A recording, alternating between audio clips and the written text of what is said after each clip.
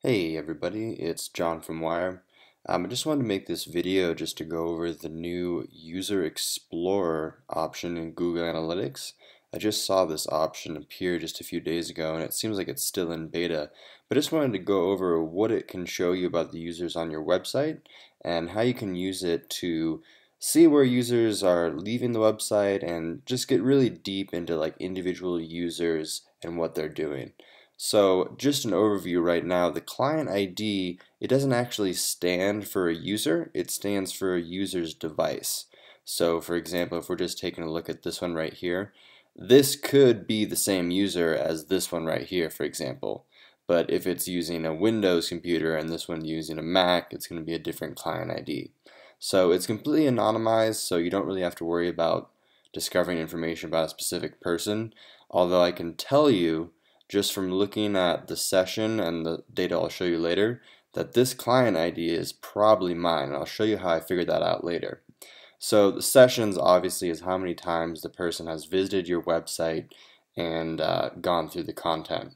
Average session duration, exactly what it sounds like, it's just how long they spent on the site. Bounce rate is how quickly they've left yeah, single page visit. So when they land right on the page and then they leave right afterwards, that considered 100% bounce, like these three right here. Revenue, if you have your store or your website set up to accept payment, um, Google Analytics can actually track the revenue that your store has in addition to transactions. And then goal conversion rates. Um, I'm going to make a video about this later about how I set some goals on my website. But goal conversion rate just measures the amount of percentage that the goals that you set are completed. So for example, if for this person I had, okay, if they spend more than three minutes on the website, one of my goals, I want it, I want it to be a goal that says if they spend more than three minutes on the website, I want it to be a goal conversion. So if this person had done that, this would be 100%. Anyway, back to the client ID. So I'm going to show you really quickly just an example of what a client ID um, information looks like. And this client has 40 sessions on the website. Session duration is 59 minutes. And of course, there's nothing for sale on the website, so the revenue is at zero. So here's how I think I know that this is me. The reason is that there's no reason why someone would come back to the same page every single day, every single day, unless they were me trying to do some testing. So I, I don't even think that I've come back to this page every day. So maybe this is a bot. But it just goes to show you that you can probably figure out how you are by using the user reports, but I, I mean, I have no idea who the rest of these people are. So anyway, let's take a look and see what we can understand about each one of these user sessions. So I'm just going to pick a random one right now. I'm going to pick this one right here. So this person um, arrived on the website April 6, 2016. They got to the website by organic Google search, I assume, and the device category was a desktop. So right off the bat, we know this person is on a computer. So what I can tell from this user report is that they viewed this website page, and then that is all that happened. They left right afterwards. So this one's kind of un uninteresting. Let's go back to another one. And the reason why I'm sorting it by sessions from lowest to highest is because usually these top sessions right here are either bots or as I said earlier, it's probably myself going through each one of these pages because as much as I would like my website to be popular, I don't think someone's coming back 29 times. Anyway, so let's just scroll through a few pages here. Okay, so let's pick this one. Okay, so this one did exactly the same thing. One session, organic search, and it's on a mobile device and they viewed this page. So I'm going to try and see if I can find a user explorer report that actually we can find some more deeper information off of it. So I'm going to pause the video and come right back to that when I find one. Okay, so here's a really good example. So this person visited the website April 21st, 2016. The user visited the website via direct, which means they literally typed in either the address or they clicked on a link that sent them straight to the website. They're on a mobile device. And what this user report shows is it breaks down what the person is doing on your site. So if we take a look at the first instance here, they arrived at the list of blog aggregator websites to promote your blog, and that's a page on my website.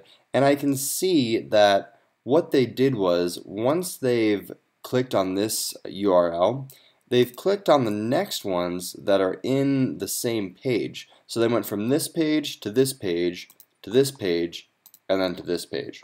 So if you're a company and you're trying to figure out, okay, I see a lot of people are going to my product, but why are they leaving right afterwards? Well, this user acquisition report, it can really tell you what the flow is on your website.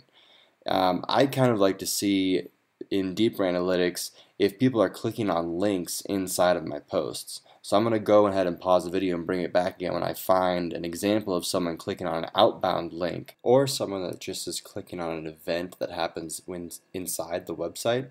I'm going to go ahead and bring back everything so I can show you guys. Okay, so I had to mess around with it for a little bit. I actually had to switch into a different analytics platform away from wiyre.com. But here is an example of a different type of event besides a view.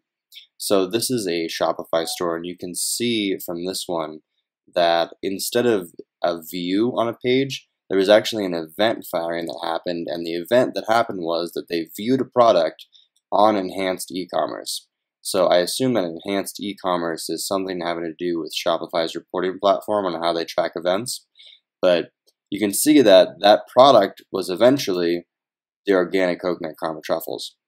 So what this can show you is the flow of the website, what people are clicking on, and what they eventually end up at. So you can see that once they visited the product, it looks like they went back to the home page, then they went to the contact us page. So from this information, you're probably wondering, okay, well, what does that really, how does this really help me? Well, from this alone, I can see that maybe when people click on this product, they have additional questions that I might need to put on this product page. And the reason I know that is because they immediately go to the contact us page right afterwards. So I encourage you if you have this audience option available, I know it still is in beta, but go ahead and check it out and see if you can tell the flow of where people are going to on your site. If they're landing on the home page, where are they going from the home page? If they land on one of your posts, are they going back to the home page and then do another post, or are they just leaving the site? So leave your comment below if you have additional information about um, user exploring Google Analytics, and hopefully it'll be out of beta soon so everybody can have the chance to take a look at it. So with that, I just wanted to give you a short overview. If you have any questions, you can go ahead and leave a comment below. Thanks, and I hope you have a great day.